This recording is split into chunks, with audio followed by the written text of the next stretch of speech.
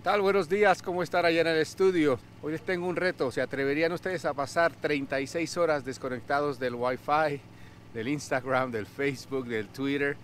Bueno, eso es precisamente lo que estamos haciendo aquí en esta nueva aventura, disfrutando de la naturaleza. Estamos en lo que se llama el Rubicon Springs. Este es un campamento en medio de las montañas del norte de California, donde se viene aquí a experimentar con los autos Empezamos la aventura en Squaw Valley, el centro de esquí, donde obviamente en esta temporada no hay nieve, pero siempre hay mucha actividad eh, alrededor de la naturaleza.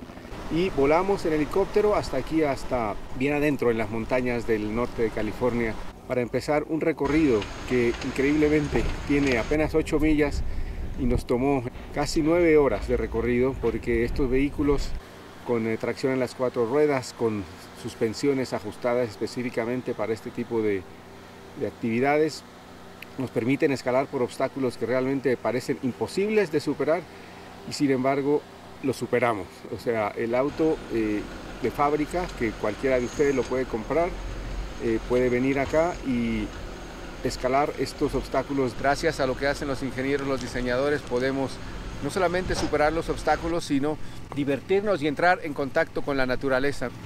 Son acá las 7 de la mañana y con excepción de ese ruido que quizá pueden escuchar al fondo, es un, motor, un generador eléctrico, porque aquí como dije no hay conexión con el mundo externo, pero hay un generador para las operaciones de este campamento. También aquí tenemos un helipuerto donde hay algunas actividades, algunas personas llegan aquí directamente al helipuerto y hacen la mitad del recorrido, otras hacen el recorrido completo que vamos a completar más tarde. Y esto es lo que de verdad deberíamos hacer más seguido llegar a destinos que quizá no tenemos en mente, pero que están aquí, han estado siempre por la naturaleza.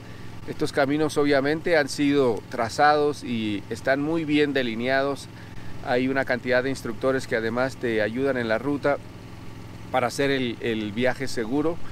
En la jornada de ayer tuvimos un par de incidentes, un auto de hecho se, volteó de lado simplemente eh, porque calculó más eh, mal los ángulos, pero por fortuna no hubo heridos, no hubo nada y los autos siguieron andando. Así que la verdad que les recomiendo a todos allá en el estudio y también en, casa, los que nos están mirando, desconectar un poco, por lo menos 36 horas que estar fuera del internet, Twitter, Instagram y todo eso y venir a disfrutar la naturaleza aprovechando lo que nos pueden hacer los autos. Así que por ahora me despido, vamos a continuar esta aventura de regreso a Squaw Valley y nos vemos muy pronto allá en Miami.